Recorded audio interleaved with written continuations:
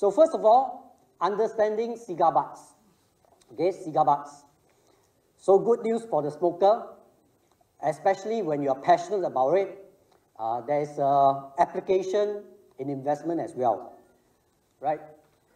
So this is what uh, Buffett described in 1989, the uh, Berkshire shareholders uh, meeting. And uh, it is in response to one of the shareholder who asked, why is it that, you know, Berkshire Hathaway doesn't buy cigar butt anymore? And this is his reply. Uh, and following this, what he said was that because most of this cigar butt, and you can say almost, almost close to 100%, most of this cigar butt, they are so tiny that even if I were to achieve 30 or 50% return on these particular stocks, it, will, it wouldn't make a dent on the result of Berkshire because the size of Berkshire's uh, asset size uh, is in terms of billions and billions of dollars. So if they were to invest in a stock that's worth only 21 million, for example, they can buy up the whole company and the whole company and make 100% return, it will not even make a dent on the result. And that's why the strategy changed, right? We're going to see how different it is when I go to bagging an elephant in a short while. So the strategy, if you can think about it, is very simple. There is one formula involved towards understanding this.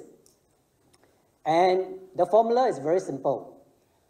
If you can take all of the current assets that's available in the company and use it to pay off all of the company's liability, and then if you were to compare it against the market cap. Now, market cap, as you know, is simply share price multiplied by the outstanding number of shares. So the market cap is a market pricing, all right? On a day-to-day -day basis, market cap is Mr. Market. It goes up and down according to the share price.